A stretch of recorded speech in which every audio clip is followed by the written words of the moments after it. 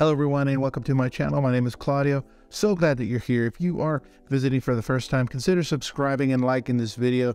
If you're returning, thank you so much. Today I'm going to be sharing some of my favorite top features within Adobe Express and why you should try it out. So let's go ahead and dive right in. Here at the homepage of Adobe Express, I can access the first top feature that you need to try and I'll tell you why. So you can scroll down here and you'll see a section labeled quick actions. You can try them out right here. You can also access them by clicking on the plus sign. And you see over here, there's a menu of quick actions. I'm not going to actually go over all of them. I do have a video specifically about the quick actions, but really quick. You can do some converting and editing of PDFs changing images to different formats and sizes, QR codes, and then you have all these different video quick actions. One of the ones that I like using here is the merge videos. I'll do a quick demo of that. Let me go ahead and you can either drag the videos in or you can browse them. I'm going to go ahead and drag them in here. And the nice thing about this is that you can bring in this video and you can trim the pieces. So for example, here is a pair of scissors. So you can cut you know where you want your video to start. And this is a couple of shots I've took of my wife refinishing a project. So it's about a three and a half minute long video but what I want to do is just create little snippets or little cuts maybe about well let's maybe say about let's see about there maybe 30 seconds I'll hit play. Well it's actually not 30 seconds. Here we go. It's 30th of a second Okay, so maybe about there. So let's go ahead and trim it about there. And then it'll just flow and cut to the next uh, clip here. I'll hit play. Okay, pretty good. I think I'm gonna pretty much leave it where it's at, but as you can see, it's flowing from clip to clip to clip. And the whole video itself is going to be 27 and a half seconds long. Let's see what this one is here. Hit play. All right. And I'll go ahead and just say trim. And what I'm going to actually do is click on the speaker here that'll mute each of these clips because I'll eventually add a soundtrack. I'll use another tool to uh, add a soundtrack, but for now, we'll leave it like that and then click on download. You can also change the size and let's go ahead and download this. So it'll merge those video clips as one single video that you can use again, as I mentioned, to edit in another tool, adding audio, uh, music track or maybe narrate over the video. So that's the first top feature you need to check out. So this next top feature is the multi-page feature within Adobe Express. You have to try this out if you have not. It has helped me improve the workflow of my project, of my work. And I'm gonna go ahead and demo here. I'm gonna drop in a photo here. This is shot here in my field here near my house. I'm gonna go ahead and add that to the background. This is an aerial shot from the drone. And one of the reasons why I use Adobe Express pretty much as my social media tool is I'll have content like this. And then what I'll do is go ahead and add my logo here. I'll drop that in. As you can see, it's on the bottom right corner. And then here's the multi-page tip here. What you'll do is click on this, which will duplicate this project. I'm going to do it three times, or actually duplicate it twice because I will have three and so my logo is already there. So all I do is come here and I will swap out the photo that's already in here with one on my desktop. Let's go ahead and locate that next photo. We'll drop it in here and we'll repeat the process for the next photo.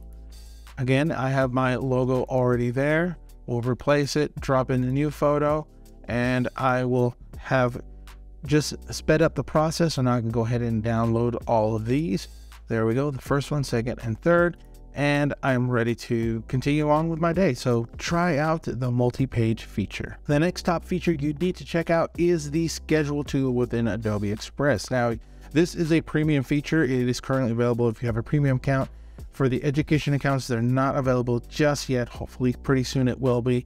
But I'm going to demo it real quick here. You'll see the schedule button. Click there. It opens up a new tab and what you want to do is connect all of your social accounts. As you can see, these are all scheduled tweets and content that I share on LinkedIn, and it's just easy to do. So this today is the 19th, for example. I'll click on New Post here. I've already got all my accounts connected. I need to refresh these others here, but let's say I go to Twitter, and what you'll do is add the media from your computer. So I'm to go ahead and use my images that I just created here And boom, there we got it. Add to the post. And then I have copy already set up. I will paste it in here and you'll be notified whether your character count is long here. Twitter does have a limit. So I'm way over here. So usually what I'll do is I'll just delete some of these and just go with the most important ones that I need to use. Uh, so I'm still a little uh, too over the count here. So now what I'll do is just maybe edit some of this stuff, but just for the sake of demo, I'm gonna go ahead and just do it about right there. So you can see I'm okay. And you could also tag accounts here. So let's say I want to tag Adobe Express and you'll see it pop up here. Click on it so now you're tagged again. My count is a little over, so I'm gonna go ahead and let's just remove one of these hashtags, but you kind of will get the, the gist of what to do here. It'll take some time to learn maneuvering with all the different platforms here. Some of them have uh, more accounts allowable. Twitter, again, it has a limit. And then you see over here, you can schedule the time. You can keep it in draft form, or as I said, you can go ahead and schedule you can schedule up to about a minute ahead of time, but usually when I do this, it's either a day before or several days later. If you haven't tried the schedule tool within Adobe Express, I highly recommend that you give it a shot.